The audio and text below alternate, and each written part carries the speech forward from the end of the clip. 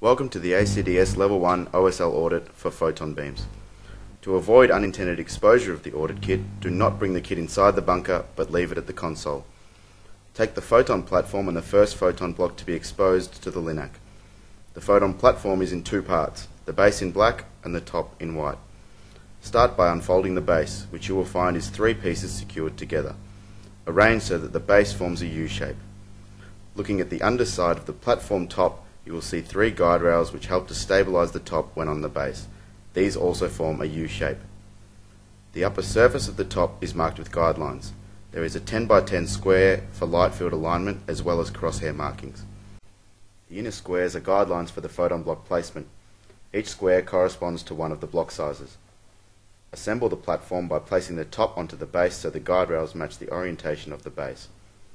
Align the platform crosshair markings to the LINAC crosshairs.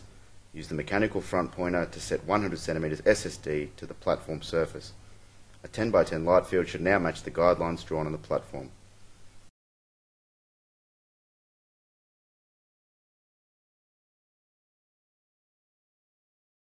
Take the first photon block. Note that each block has a label with this side to source on it. Ensure the label is facing the source when placing the block.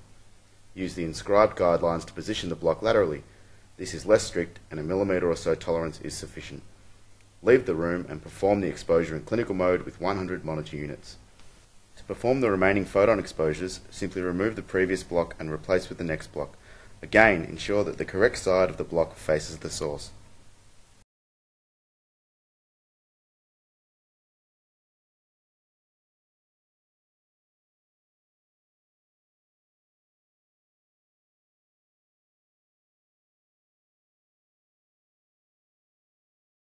Thank you and feel free to contact the ACDS if you have any questions.